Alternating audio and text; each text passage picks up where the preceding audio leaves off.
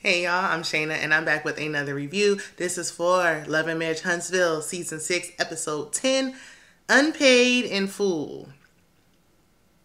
Let's get into it because the name alone, like, mm, sounds like it might be a good episode, okay? So before we do, um, if Misha brought you over here, because y'all done showed up and showed out hey y'all, hey. now I gotta get ready for church, so we don't really got much time to waste. If you're new here or if you're not, either way, if you enjoyed the video and you haven't already, please hit that subscribe button. Check out my other content. Like you're gonna love it here. I'm thinking maybe we should do a live because y'all coming in, okay? And I appreciate it. Love to have you. Like we a community on this side, okay? So let's pick up where we left off. And that was with tiffany not feeling good last week. We know you know she wasn't feeling well from getting the mess started okay? She didn't got the ish started and, and, and she was feeling underwhelmed or overwhelmed. So tiffany says she's seeing stars. And stormy was like let me go grab a nurse. So she go grab kimmy. And Kimmy was like, I don't, I can't check her pressure. I don't got all my stuff with me. She needs to have a pressure check. Stormy offered to call an ambulance, and Tiffany was like, no. And Kimmy just can't quite understand why. She don't want that expensive bill. That's why. Child, an ambulance call one time. That bill was so high. Now I would catch an Uber before I, I ever get in the ambulance again. So Big Lou puts her on this truck and they speed to the hospital. In all seriousness, I'm glad that Tiffany and baby Ace are okay. So we see the Scotts 1.0 and they got a big business move happening with Scott. They breaking down, breaking ground on something.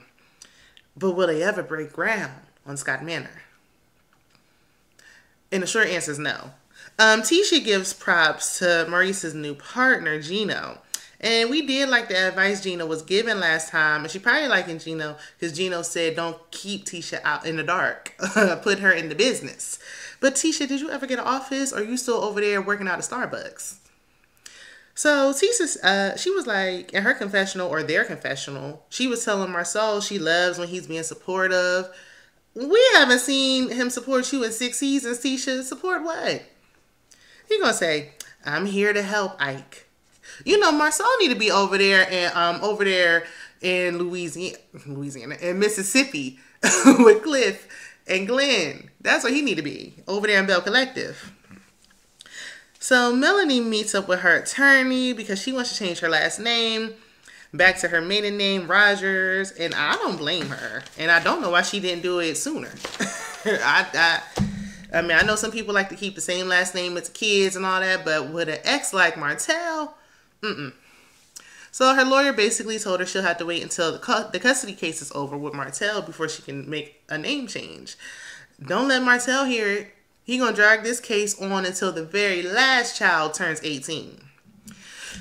Uh, Mel said that the judge asked for information that wasn't necessary, like passwords to her social media and who she's dating romantically. It sounded like y'all need a new judge. Cause what? so we see Martell having his own meeting he meeting with a designer. He's trying to design some suits. That's good because you know he like to wear suits, but I feel like he should just go ahead and be a personal trainer and move on with his life. So Miguel, the uh, designer, he wants to work with Marcel, but he tells him like, look, you need about a hundred k. Where he gonna get that from? He just said he a single father of five.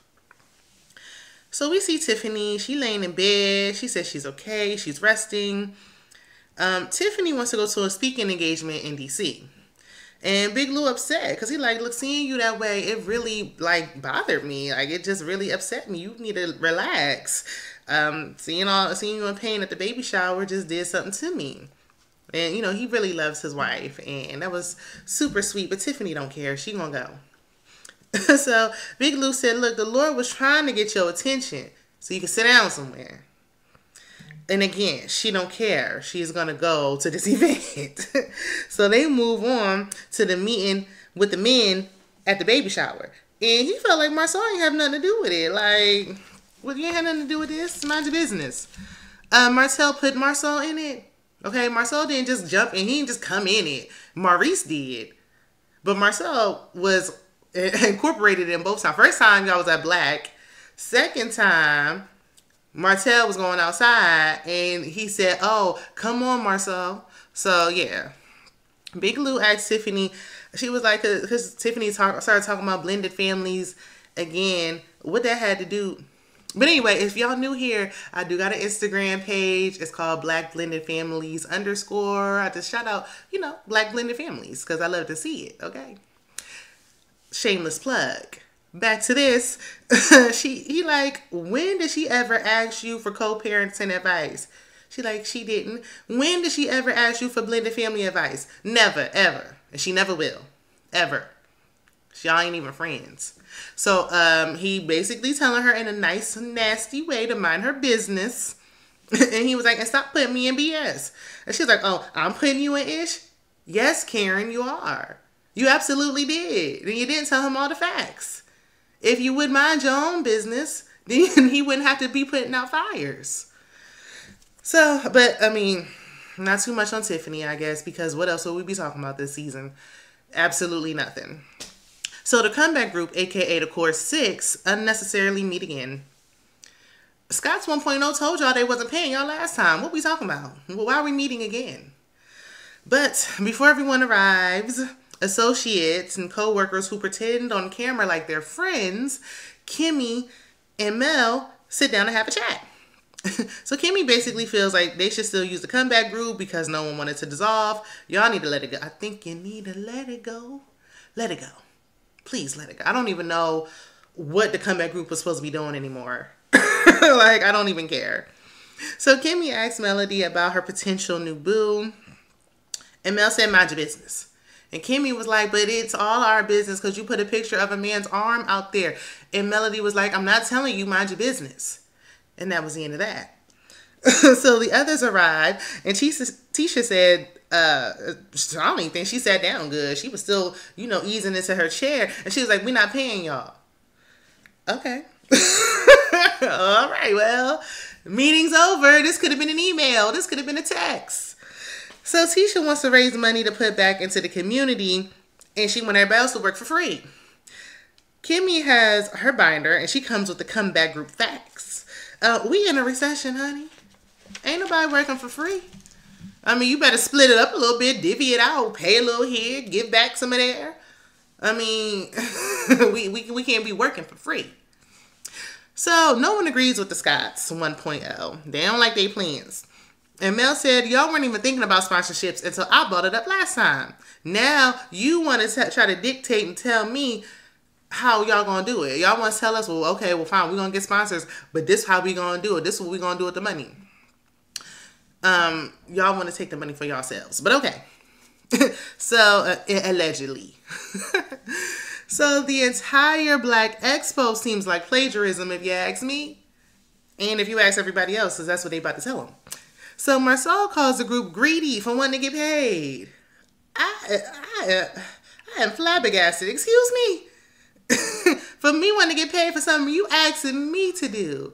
Today's price ain't yesterday's price. Cause what I would have did before, I'm not I'm not doing that on today.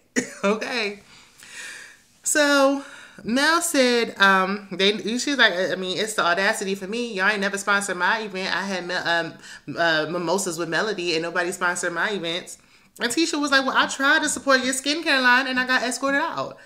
Melody gonna say, I'm talking about sponsorships, not coming to support. I ain't sponsoring nothing. If you kicking me out of events, if I try to come to your event, you kick me out. I'm not gonna turn around and sponsor a damn thing. Okay. Let's be clear. So Kimmy said, look, she just called it out. She's like, call it what it is. Y'all took the comeback group and slapped a new name on it and said it's under new management. Period. Maurice was like, yeah, y'all recycling our idea. That was our idea. That's true. Let's call a thing a thing. And the Scotts 1.0 getting all defensive.